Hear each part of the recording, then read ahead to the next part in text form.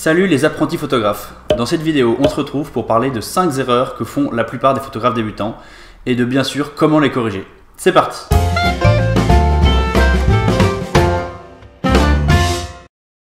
Alors moi j'étais débutant il n'y a pas si longtemps que ça, et à travers le blog, la page Facebook, je suis en contact avec plein d'autres débutants. Et au bout d'un moment, j'ai fini par remarquer que les erreurs que font les débutants, c'est toujours les mêmes et qu'elles sont vraiment très faciles à corriger. Du coup, j'ai sélectionné 5 erreurs de débutants en photo faciles à corriger. L'erreur numéro 1, c'est tout simplement de faire des photos qui ne sont pas droites. Quand on fait des photos, il faut faire attention à avoir la ligne d'horizon à peu près horizontale. Alors je dis ça, c'est pas une règle absolue.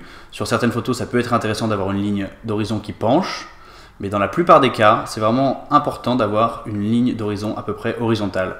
Ça prend vraiment deux secondes pendant la prise de vue de vérifier que la ligne d'horizon est à peu près droite.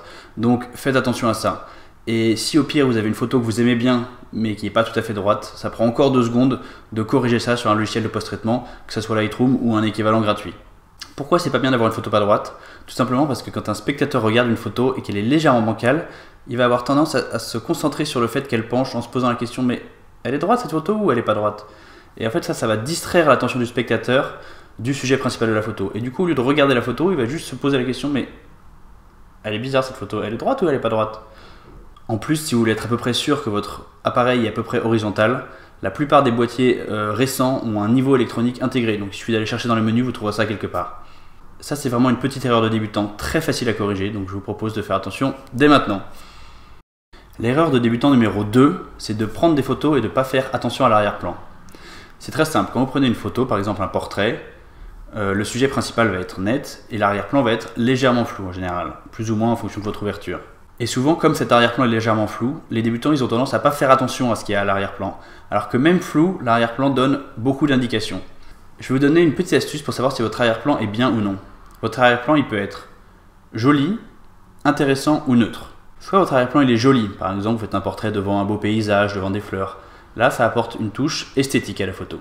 Soit votre arrière-plan il peut être aussi intéressant. Il va donner des informations sur où est-ce qu'a été prise la photo, il peut donner des informations sur qui est cette personne sur la photo, dans quel pays ça a été pris. Ça, ça peut être intéressant aussi. Et dans le troisième cas, votre arrière-plan il peut être neutre, c'est-à-dire un mur blanc, un mur de briques, quelque chose qui ne va pas attirer l'attention. Si votre arrière-plan il rentre dans l'un de ces trois critères, c'est parfait. Sinon, c'est pas bon. Si votre arrière-plan il est trop encombré, si votre arrière-plan il a des détails qui détournent du sujet, s'il y a des choses comme ça, c'est que votre arrière-plan est pas bon et ça va gêner pour la lecture de votre photo. Encore une fois, c'est vraiment une erreur très facile à éviter. Il suffit juste de se concentrer un poil pendant la prise de vue et de penser à checker son arrière-plan, rien de plus. L'erreur numéro 3 que font la plupart des débutants, c'est d'utiliser à tout bout de champ le flash qui est intégré à l'appareil. Vous savez le petit flash euh, pop-up qui sort au-dessus de votre appareil quand vous avez envie de prendre une photo et qui fait trop sombre.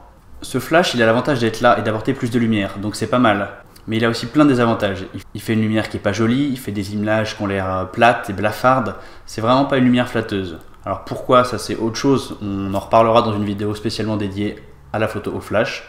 Mais toujours est-il que si c'est possible, il faut éviter d'utiliser le flash intégré de l'appareil. Mieux vaut monter un petit peu les ISO, quitte à avoir un peu de bruit, mais ne pas utiliser le flash. Ça fera des photos dont la lumière sera globalement bien plus jolie. La manière la plus simple de faire ça est de ne pas utiliser le flash automatique, mais d'aller dans les menus et de désactiver le flash tout simplement. Comme ça, vous l'utilisez que quand vous en avez envie, à savoir le moins souvent possible. L'erreur numéro 4 des photographes débutants, c'est de penser qu'on pourra tout corriger en post-traitement. Quand on débute la photo et qu'on débute surtout le post-traitement, donc on commence avec un logiciel comme Lightroom, on a tendance à croire qu'avec Lightroom on peut tout faire, ou avec Photoshop on peut tout faire. Et c'est un peu vrai, on peut faire pas mal de choses avec Photoshop, mais on ne peut pas rattraper une photo qui n'est pas rattrapable. C'est-à-dire que si une photo est complètement floue, on peut accentuer légèrement la netteté avec Lightroom ou Photoshop, mais on ne va pas pouvoir rattraper une photo complètement floue. Euh, si une photo est complètement sous-exposée, on va pouvoir rattraper un petit peu de lumière, mais on ne va pas pouvoir corriger complètement la sous-exposition. Donc il faut prendre l'habitude, quand on est débutant, de faire le maximum dès la prise de vue exposer la photo correctement, faire la mise au point correctement, toutes ces choses, vous devez y penser à la prise de vue et ne pas espérer les corriger en post-traitement. Post-traitement, on peut sublimer une photo qui est déjà jolie, mais on ne peut pas rendre jolie une photo qui était ratée. Et enfin, l'erreur numéro 5 des photographes débutants, c'est l'erreur la plus importante parce que c'est une erreur qui, en quelque sorte, résume toutes les autres. C'est tout simplement de prendre des photos sans réfléchir. On prend des photos parce qu'on trouve quelque chose de joli, mais on va trop vite. On ne prend pas le temps de se poser 2-3 secondes pour réfléchir. Est-ce que ma photo est droite? Est-ce qu'elle n'est pas bancale? Est-ce que ma photo est bien exposée? Est-ce que ma photo est nette? Est-ce que la mise au point est faite au bon endroit? Est-ce que mon arrière-plan est intéressant? Est-ce que mon arrière-plan apporte quelque chose à la photo? Est-ce que mon cadrage est bien fait? Et tout plein de petites questions qu'on peut se poser très très vite avec l'expérience, on se les pose même plus, mais elles, elles deviennent des réflexes. Mais quand on est débutant, il faut s'habituer à se poser ces questions pour faire des bonnes photos. Parce que sinon, ce qui va se passer, c'est que vous allez prendre des photos de choses qui vous intéressent, et une fois rentré à la maison, vous allez regarder vos photos sur votre ordinateur, et là, vous allez avoir plein de regrets. Ah zut, pour cette photo-là, j'aurais dû cadrer un petit peu plus à droite pour euh, cacher cette chose à l'arrière-plan. Ah zut, pour cette photo-là, j'aurais dû faire la mise au point ici et pas ici. Ah zut, pour cette photo-là, bah, elle est juste floue, je l'ai ratée. Ah zut, pour cette photo-là, j'aurais dû euh, vérifier que ma vitesse était adaptée pour pas qu'il y ait de flou de bouger. Euh, ah zut, pour cette photo-là, euh, j'aurais dû mettre l'horizon droit, j'ai pas fait attention, je vais devoir passer du temps en post-traitement, alors que ça m'aurait pris une demi-seconde de faire attention pendant la prise de vue. Toutes ces questions, vous devez apprendre à vous les poser au moment de prendre la photo. Avec l'expérience, avec le temps, c'est des questions que vous n'aurez plus à vous poser parce qu'elles vont devenir instinctives. Mais au début, quand vous débutez en photo, pour progresser, apprenez à vous poser les bonnes questions au moment de prendre la photo. Les trois plus importantes questions, c'est est-ce que ma photo est bien exposée? Est-ce que la mise au point est faite au bon endroit? Et est-ce que ma photo est bien composée? Il y a plein d'autres questions, mais ça, c'est les questions les plus importantes pour débuter. Donc si vous posez ces trois questions avant de prendre chaque photo, vous allez vraiment progresser énormément et très vite. Et voilà les apprentis photographes, c'est tout pour cette vidéo. J'espère que ces petits conseils vont vous aider à progresser.